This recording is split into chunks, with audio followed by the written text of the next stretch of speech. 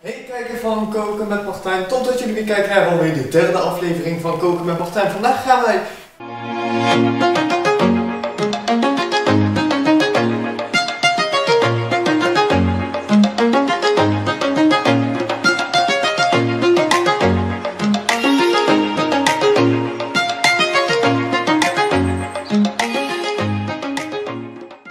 maken in het tosti-ijzer. Wat heb je daarvoor nodig? Je hebt ervoor nodig een tosti-ijzer, brood en natuurlijk kaas. Eh, eh, dus ja, laten we maar gauw beginnen. De volgende in aflevering 1 van Koken met Martijn had ik een tosti in de kokenpan gemaakt. Toen heb ik best wel veel reacties ontvangen van, ja, is het niet raar? Je kan het ook in een tosti-ijzer doen. Daarom hebben we vandaag de tosti-ijzer special. Dus vandaag deze video's gaan wel wat korter duren omdat je daar niet zoveel tijd voor hebt. Maar ja, ik doe mijn best om jullie te vermaken. Dus laten we maar gauw beginnen. Nou jongetjes en meisjes, wa- wat doe je als eerst? Als eerst pak je de tosti ijzer, want die moet natuurlijk een paar minuten warm worden. Zo, en die stoppen we erin. Kijk, nou, hij zit er nu in als het goed is. Kijk, de lampjes branden. In de tussentijd, ehm, ja, je moet wel de bakplaatjes erin doen. Wij gebruiken voor deze video deze bakplaatjes. Er zijn ook nog andere bakplaatjes om tosties en andere dingetjes mee te maken. Maar ja, ehm, dat, zijn dus de bakplaatjes. Nou, eh, wat hebben we nodig? We hebben natuurlijk een bocht nodig om ons brood op te leggen. En ja, dan is het eigenlijk gewoon bereiden en erin houden. Deze video ja, du- duurt wat korter dan normaal. Dus ja, we draaien eerst de broodzak open. Dan haal je gewoon twee boterhammen eruit. Ehm, oh, wacht. Het het brood is een beetje eh, nog bevroren. Nou, eh, en dan kan je de broodzak opruimen. Want de broodzak heb je niet meer nodig. En zo te zien is de lichtinval een beetje, eh, valt een beetje tegen. Het bord moet ietsje meer naar links. En oké, het bord eh, leg je zo. Kijk, zo ligt het er rechtop. Dan pak je de kaas erbij. En dan maak je dat ergens open. Nou, ondertussen is de verpakking ook eh, veranderd van de kaas. En ja, laten we gewoon ehm, maar een plakje kaas eruit pakken. Kijk, deze kaas. eh, normaal doe ik het no- nooit zo, maar ja, dan pak je hier een plakje kaas. eh, en dan doe je dit door de helft en dan leg je eentje erop.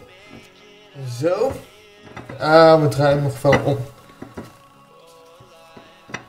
Zo. Eh, en dan is zo de tosti klaar. Wat je dan nog hoeft te doen is de tosti-ijzer opengooien. Hij is nog niet helemaal warm.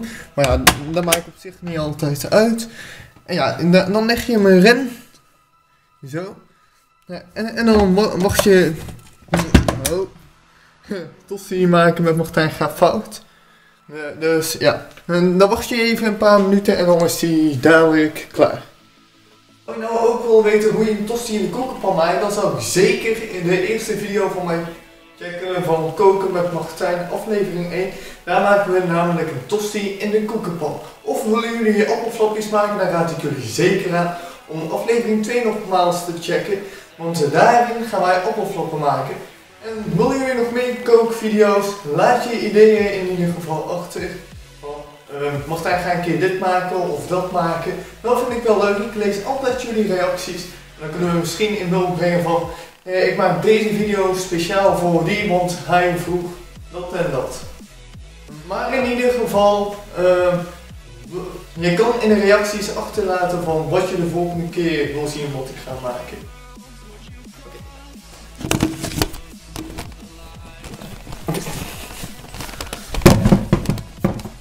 Oké dames en heren, jongetjes en meisjes, zoals je een beetje kan zien komt er rook uit. En dat betekent maar één ding, dat de tosti klaar is. Nou, dus we doen hem open en dan is het, ziet de tosti er zo uit. Dan ehm, gooi je hem op je bord. Nou, en dat de kaas blijft zitten, ja, dat is niet de bedoeling. Ah, ik filmde nu met één hand. Nou, ja, Nou, dan doe je hem dicht en dan trek je de stekker eruit. Kan de tosti-ijzer weer afkoelen. Dan hebben we hier onze tosti liggen. Nou, dan pak ik even een mes erbij. En ja, dan snij je hem gewoon door. Nou, Oké, dan is de tosti klaar en, en dan snij je hem door. En dan, ja, eh, kunnen we hem gaan opeten.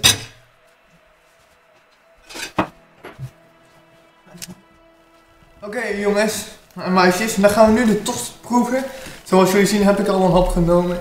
Maar ik vind zelf persoonlijk de tosti uit de koekenpan het lekkerst. En dan met ham en kaas. Zo, zoals jullie al in de eerste video konden zien. Dus ja, laten we maar eens proeven. Mmm. Smaakt goed. Ja, helemaal goed gekeurd. Nou, dan wil ik jullie bedanken voor het kijken naar deze video. Wil jullie nog meer kookvideo's? Laten we zeggen bij de 25 duimpjes nog een kookvideo. Dus like allemaal, deel deze video. Ik heb er in ieder geval genoten. Abonneer op mijn YouTube kanaal Powermaster.